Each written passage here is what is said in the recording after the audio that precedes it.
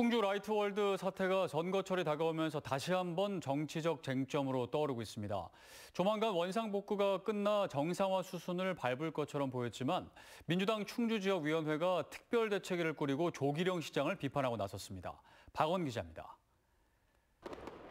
지난 2018년 세계 최대 규모의 빛 테마파크를 표방하며 문을 연 라이트월드. 치열한 법정 다툼이 이어진 끝에 지난해 5월 대법원은 충주시의 취소 처분이 정당하다고 최종 판결했습니다. 충주시는 법적 근거를 토대로 행정 대집행을 통해 라이트월드 시설을 치워왔고 지난주 마지막 상가 건물 한 동에 대한 철거 작업에 들어갔습니다.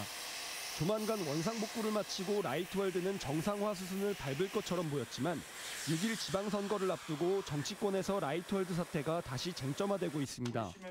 더불어민주당 충주지역 위원들은 충주시청에서 기자회견을 열고 특별 대책위원회를 구성한다고 밝혔습니다.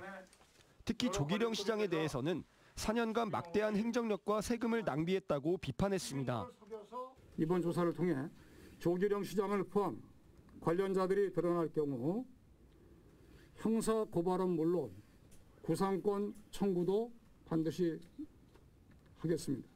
충주시는 원상복구 마무리 시점에 다시 정치 쟁점화하는 건 시민 분란을 조장하는 것이라며 곧장 반박 입장문을 냈습니다.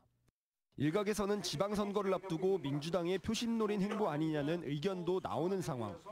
조길형 시장이 삼선 도전을 공식화한 가운데 라이트월드 사태가 정치권에서 재점화되고 있습니다. CJB 박원입니다.